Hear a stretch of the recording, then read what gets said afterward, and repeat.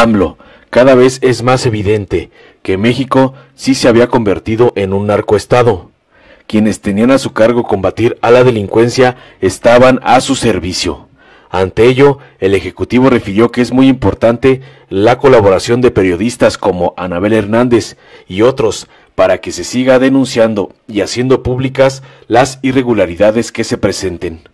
Ahora se castiga por parejo a quienes cometen delitos, dijo esta mañana el presidente Andrés Manuel López Obrador desde su conferencia de prensa en Palacio Nacional. Así lo dijo tras ser cuestionado por las últimas declaraciones de la periodista Anabel Hernández, quien reveló que en la Fiscalía General de la República habrían al menos siete funcionarios corruptos que pondrían en riesgo la impartición efectiva de justicia desde dicha institución. Ante ello, el Ejecutivo refirió que es muy importante la colaboración de Hernández y otros periodistas para que se sigan denunciando y haciendo públicas las irregularidades que se presenten o se presentaron en gobiernos anteriores. Qué bien que estas periodistas, en el caso especial de Anabel, que ha arriesgado hasta su vida y sigue informando y denunciando. Son muy pocos los que denuncian, la mayoría se quedan callados, porque tuvieron incluso relación con estos delincuentes. Hay hasta quienes todavía defienden a estos personajes.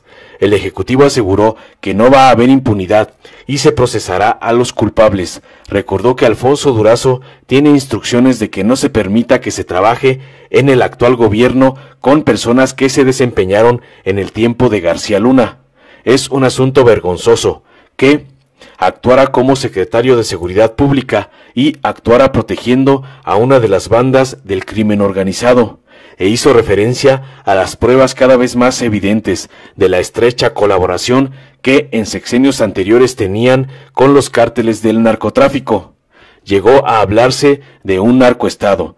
Yo sinceramente en ese entonces pensaba que no era correcto, pero luego, con todo esto que está saliendo a relucir, pues sí, se puede hablar de un narcoestado, porque estaba tomado el gobierno. Quienes tenían a su cargo combatir a la delincuencia estaban a su servicio. Dijo que en México mandaba la delincuencia, decidía a quién perseguir y a quién proteger. Esto tiene que atenderse para que no se repita nunca jamás.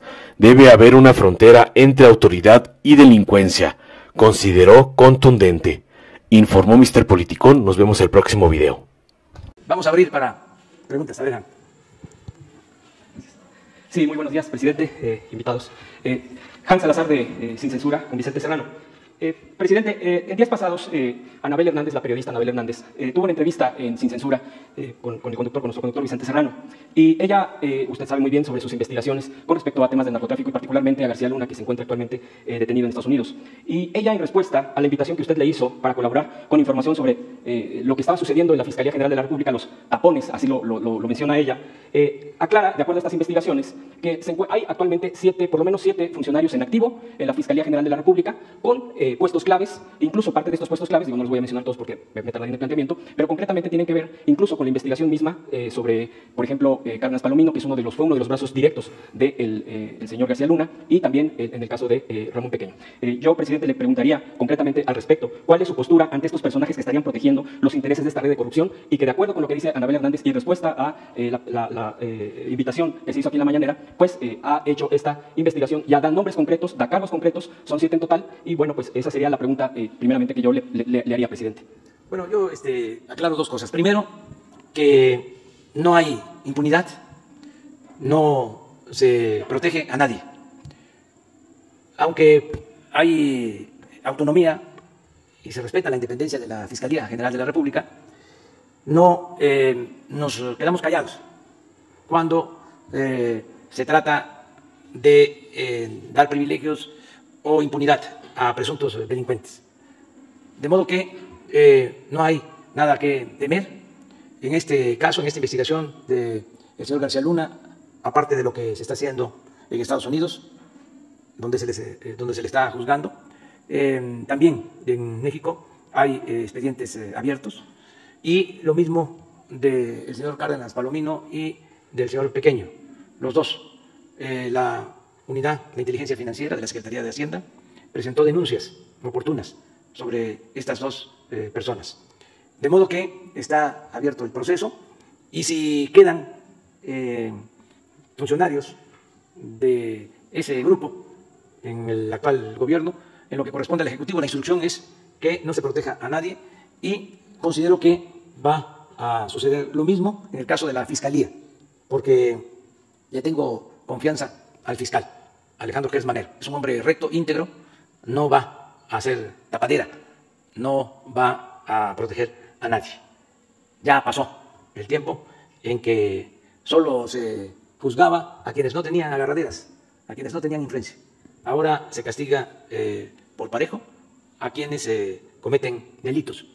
Es muy importante la colaboración de Anabel Hernández, de periodistas, y es muy importante para que se siga eh, denunciando, se siga haciendo público si no se actúa y si se ve que hay desviaciones, si se eh, observa que no se está aplicando la ley. Qué bien que eh, estas periodistas, en el caso especial de Anabel, que ha arriesgado hasta su vida, sigue ayudando, sigue informando, sigue denunciando. Y ojalá, y otros periodistas, porque hablando en plata, eh, son muy pocos los que denuncian. La mayoría se queda callada, porque conocieron a estos personajes, tuvieron incluso hasta relación con ellos. Hay periodistas famosos actualmente que los defienden, y no es el caso de Anabel y de otros. Pero bueno, contestando a tu pregunta, eh, no va a haber eh, impunidad y se va a castigar a todos los responsables. El secretario de Seguridad Pública, Alfonso Durazo, tiene instrucciones desde hace meses de que no eh, se permita que trabajen en el actual gobierno personas que se hayan desempeñado durante el tiempo en que García Luna fue secretario de Seguridad Pública, en el tiempo que él estuvo como funcionario, porque es un asunto realmente vergonzoso el que actuara como secretario de Seguridad Pública del gobierno federal y al mismo tiempo protegiera a una de las bandas del crimen organizado, eh, como está quedando de manifiesto. Imagínense en qué situación estaba el país. Llegó a hablarse de un narcoestado. Y yo, sinceramente, eh, en ese entonces pensaba de que no eh, era correcto clasificar de esa manera al Estado mexicano. Pero luego, con todo esto que está saliendo a reducir, pues sí, se puede hablar de un narcoestado, porque eh, estaba tomado el gobierno. Quienes eh, tenían a su cargo eh, combatir a la delincuencia estaban al servicio de la delincuencia, mandaban la delincuencia, tenía una gran influencia de la delincuencia, era la que decidía a quién perseguir y a quién proteger. Entonces, sí, esto tiene que atenderse para que no se repita nunca, jamás tiene que haber una línea divisoria, una frontera entre autoridad y delincuencia. No mezclarse, que no haya contubernio, porque entonces estamos desprotegidos todos. Nos quedamos en estado de indefensión. Estamos eh, en manos de la delincuencia. Entonces es un asunto que debe de seguirse tratando eh, sin eh, miramientos, sin protección a nadie, sin impunidad. Si te gustó, dale like compártelo, suscríbete y activa la campanita para recibir las notificaciones de nuestro canal.